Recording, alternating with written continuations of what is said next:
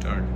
Hey, it's a new day and it's time to impress you all guys with our favorite favorite channel प्यारी प्यारी मीठी मीठी बातें आज के इस सुहाने दिन में और भी चार चाँद लगाने के लिए आपके साथ है आपकी दोस्त और होस्ट आरजे सानवी।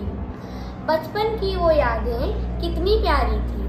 बचपन की वो यादें कितनी प्यारी थी खुशियों से भरी वो दुनिया हमारी थी।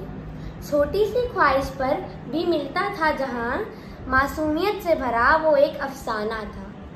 उसी पल को याद करते हुए एक शानदार कविता लेकर प्रस्तुत है रवि क्लास एट सी। एक बचपन का जमाना था जिसमें खुशियों का खजाना था। चाहत चाँद को पाने की थी, पर दिल तितली का दीवाना था। खबर न थी, कुछ सुबह की, न शाम का ठिकाना था। थक कर आना स्कूल से, पर खेलने भी जाना था। माँ की कहा, माँ की कहानी थी, परियों का फसाना था। माँ की कहानी थी, पर परियों का फसाना था। बारिश में कागज़ की नाव थी, हर मौसम सुहाना था। रोने की वजह न थी, न हंसने का बहाना था। क्यों हो गए हम इतने बड़े, इससे अच्छा तो वो बचपन का जमाना था, वो बचपन का जमाना था। बहुत बहुत धन्यवाद रवि ना फ़िक्र थी किसी बात की, ना मजबूरियाँ थी।